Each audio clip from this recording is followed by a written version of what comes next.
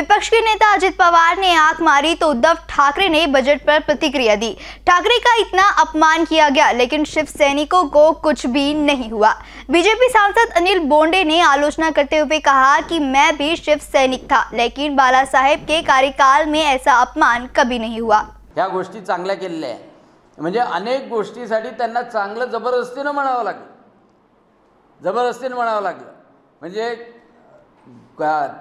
जेव्हा उद्धवजी ठाकरे बोलत होते उद्धवजी ठाकरे विरोधात बोलत होते तर अजितदादांना डोळा मारावा लागला.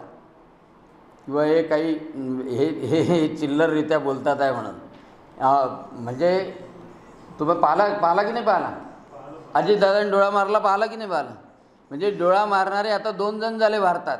मध्ये दोन जण झाले. एक मिठी मारल्यानंतर डोळा मारणारा झाला राहुल गांधी. आणि दुसरं दुसरं उद्धव ठाकरे एवढ्या मोठ्या पक्षाचा नेता जेव्हा बोलतात आहे काय बॉडी लँग्वेज होती अजितदादाची? म्हणजे कागद खाली पाडले लहान मुलासारखे आणि ते वाकले की तिथं गोंधळ निर्माण व्हावा म्हणून. कारण की अजितदादांना माहीत होतं एवढं बजेट चांगलं आहे की हा बुवा उगीच विरोधात बोलेल म्हणून. आणि मग जेव्हा ते बोलत असताना डोळा मारला. खरं म्हणजे मला समजत नाही. जर का शिवसेना प्रमुख बाळासाहेब ठाकरे जर असते तर कोणी डोळा मारू शकला असता?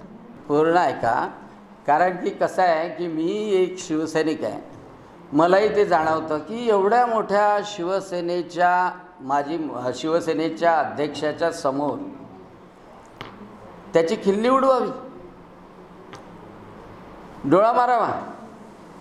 आणि कोणत्याच शिवसैनिकाला काहीच नाही वाटा म्हणजे आपल्या नेत्याचा एवढा मोठा अपमान झाला त्याबद्दल काहीच वाटू नाही म्हणजे हे अतिशय आश्चर्य आश्चर्य म्हणजे मला तर समजतच नाही की शिवसैनिक गुळे झाले काय. म्हणजे एवढं सहन करण्याची कपॅसिटी झाली. याचाच अर्थ असा आहे की अजितदादांना हे माहीत होतं की यांच्या विरोध करण्याला काही अर्थ नाही. बजेट अतिशय चांगलं दिलेलं आहे. अर्थसंकल्प देवेंद्रजी फडणवीसांनी अतिशय चांगला मा मांडलेला आहे. आणि विरोधात ते बोलायला लागल्याबरोबर दुसऱ्या माणसाला डोळा मारला की बा हे बोलत आहे हे फालतू आहे. हे बोलत आहे याला काही अर्थ नाही. हाच त्याचा अर्थ.